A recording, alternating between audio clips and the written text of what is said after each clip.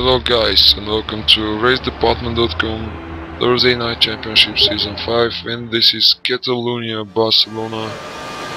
My qualifying lap to be honest I'm not very good in commenting so I'll just leave you to watch the qualify and the race edit after that. Thanks for watching and enjoy. Feel free to like, unlike, subscribe, don't subscribe, whatever you like. Thank you very much.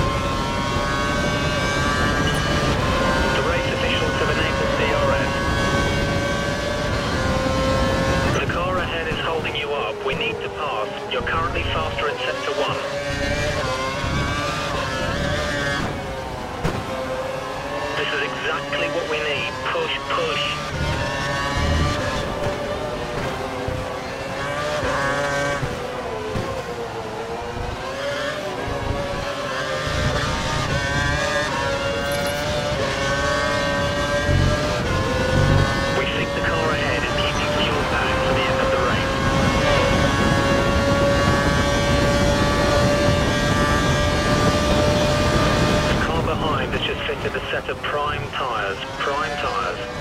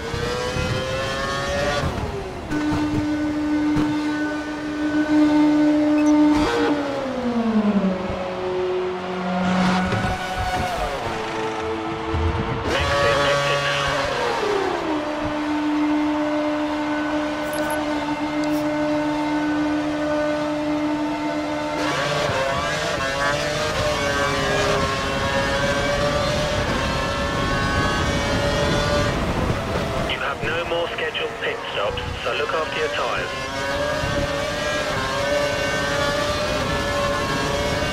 Okay, it looks like the car ahead is trying to create a gap. He's running full